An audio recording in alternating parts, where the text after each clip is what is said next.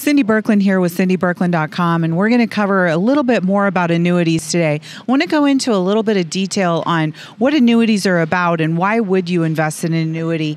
So, a lot of people when they when they have a question on, hey, should I be buying cash value life insurance products or should I go into annuities? That depends. Typically, you would do an annuity when you have a chunk of money.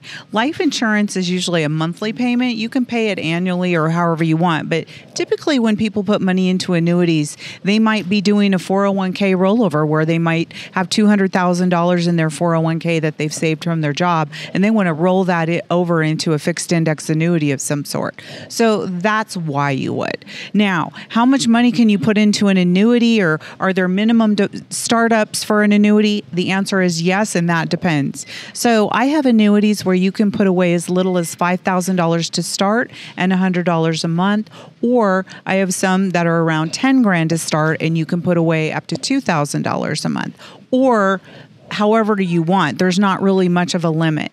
So it depends on if you're in a qualified annuity, like a Roth IRA annuity, there are limitations on how much you can put away per year. And that's what we need to sit down and talk about based on your age and what you have going individually. But annuities are designed to be set up the way you want. And they're so much more flexible than they used to be. Um, you can draw out as much as 10% per year without penalty out of annuity if you need it. So to me, if you have $100,000 in there and you need 10 grand, 10% is coming off, no penalty. Um, let's have a conversation about this and find out if annuities are right for you. Get a hold of me, cindybirkland.com.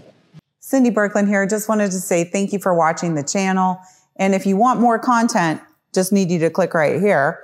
And don't forget to subscribe to the YouTube channel, clicking right here. If any of these conversations have interested you, please get a hold of us at cindybirkland.com or you can reach me at cindybirkland at gmail.com. Thanks again for watching.